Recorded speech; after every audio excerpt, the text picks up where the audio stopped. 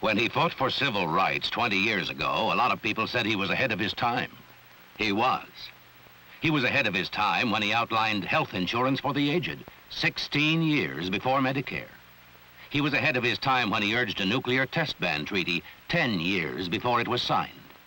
He was ahead of his time when he proposed job training for unemployed young people seven years before the Job Corps. He was ahead of his time when he defined food for peace, five years before the program saw life. And he was ahead of his time when he dreamed up the Peace Corps, four years before Congress adopted it. Hubert Humphrey has been ahead of his time for the last 20 years. That's why he's the man we need for the future. Don't just vote for the right ideas.